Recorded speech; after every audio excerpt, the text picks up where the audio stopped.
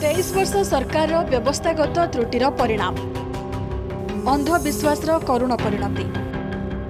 ଗୁଣି ସନ୍ଦେହରେ ଦମ୍ପତିଙ୍କୁ ହତ୍ୟା। କାଲି ସ୍ୱାମୀକୁ ମାରିଥିଲେ ଆଜି ସ୍ତ୍ରୀକୁ ହତ୍ୟା। ଦୁଇ ଦିନରେ ଦୁଇ ଦୁଇଟି ମର୍ଡର। ପୁରା ଗାଁ ସ୍ତବ୍ଧ।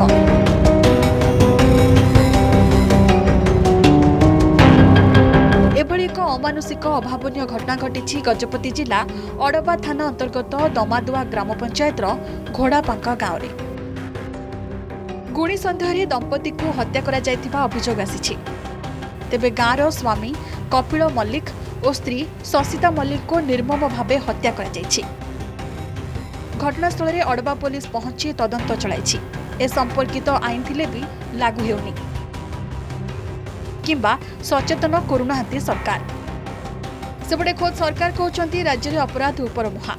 ଖୋଦ୍ ଗୃହ ରାଷ୍ଟ୍ରମନ୍ତ୍ରୀ ବିଧାନସଭାରେ ରଖିଥିବା ତଥ୍ୟ ଅନୁସାରେ ଗତ ପାଞ୍ଚ ବର୍ଷରେ ବଢ଼ିଛି ଅପରାଧ। ପ୍ରତିବର୍ଷ ବାରଶହରୁ ଅଧିକ କେସ୍ ରେଜିଷ୍ଟର ହେଉଛି।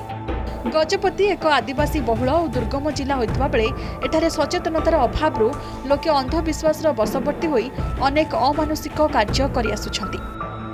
ଏଭଳି ଏକ ଅମାନୁଷିକ ଅଭାବନୀୟ ଘଟଣା ଘଟିଛି ଗଜପତି ଜିଲ୍ଲା ଅଡବା ଥାନା ଅନ୍ତର୍ଗତ ଦମାଦୁଆ ଗ୍ରାମ ପଞ୍ଚାୟତର ଘୋଡ଼ାପାଙ୍କା ଗାଁରେ। ଗଜପତି ମୋହନାରୁ ନୃସିଂହ ପୂଜାରୀଙ୍କ ରିପୋର୍ଟ ଅର୍ଗସ୍ ନ୍ୟୁଜ୍।